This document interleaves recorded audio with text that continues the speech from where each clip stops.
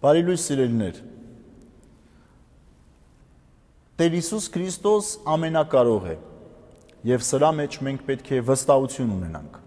Սա փաստվում է բազմաթիվ անգամներ թե Սուրբ Գրքի միջոցով եւ թե այն պատմություններով, որ մեզ փոխանցում է Սուրբ Գիրքը։ Սիրելիներ, բայց լինում են դեպքեր, երբ մարդիկ սկսում են տարակարծությունների մեջ մտնել։ Երբեմն խոսք կա, ասում են նույնիսկ Աստված չի կարող սա անել։ Այդպիսի բան չկա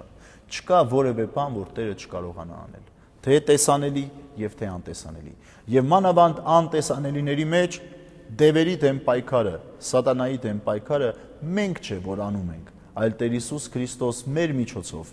Եվ այսօրվա ընթերցումը Ղուկասի ավետարանից հերթական ապացույցն է մեզ, որբիսի մենք հասկանանք, որ Տերն ինքն է կռվում այն դևերի դեմ, Տերն ինքն է սաստում այն դևերին, որոնք գալիս են մեր կյանքը փչացնելու եւ մեզ շեղելու Տիրոջ ճանապարից։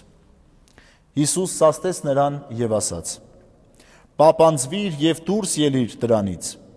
Տևը մեջտեղում գեդին զարգեց նրան եւ դուրս ելավ նրանից ու որևէ վնաս չտվեց նրան։ Եվ բոլորին զարմանք պատեց։ Իրար հետ խոսում էին ու ասում.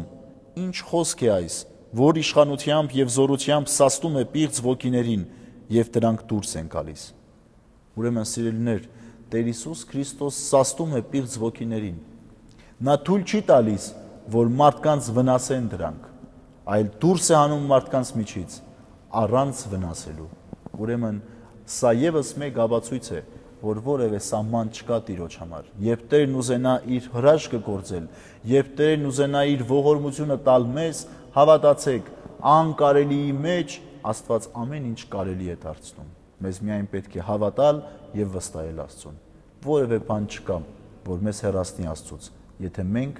չխոնարհվենք այդ բանի տակ։ Իսկ մենք նախ եւ առաջ խոնարհվում ենք Աստծո առաջ, որբիսի միշտ մնանք իր հետ եւ որևէ չար ուժ մեզ չկարողանա